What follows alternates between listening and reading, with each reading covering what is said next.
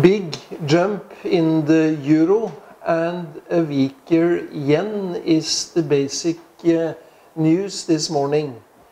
The euro has uh, strengthened itself considerably since the uh, Euro European Central Bank had its meeting yesterday and especially based on Mr. Draghi's comments on the press conference afterwards.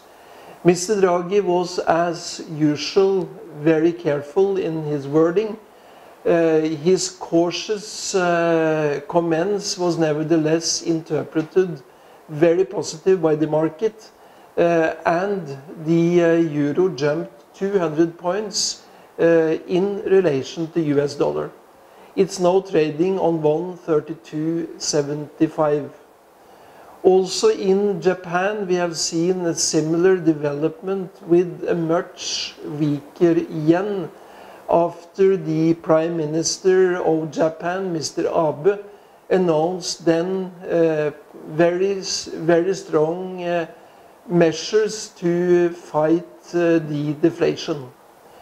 He has come forward with a plan to invest 115 billion US dollar into the economy, especially then in new roads, infrastructure, and also upgrading on safety uh, uh, in uh, connection with the nuclear plants. This uh, had the dollar to jump to over uh, 89 uh, yen a dollar, which is the highest level that we have seen in two and a half years. On the currency front, there has been developments with uh, dollar a little bit weakened towards most currencies. And we also see, uh, along with the strength, the strength in the euro, a stronger uh, Norwegian crown and uh, stronger Swedish and Danish crown. Norwegian crown is now trading at 552 uh, against the US dollar. The uh, commodities were stronger after the press conference and after the comments uh, from Draghi yesterday, but they have now fallen a little bit back. That has mainly to do with the new report from uh, China this morning saying that the inflation pressure in the economy is stronger in December than it has been for the last seven months.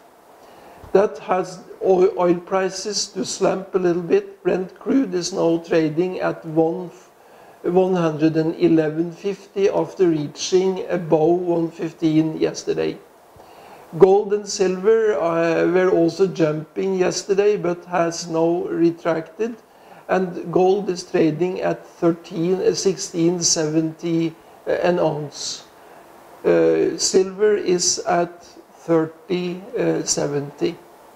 I wish all of you a good trading day from Cyprus and United World Capital and also a very good weekend.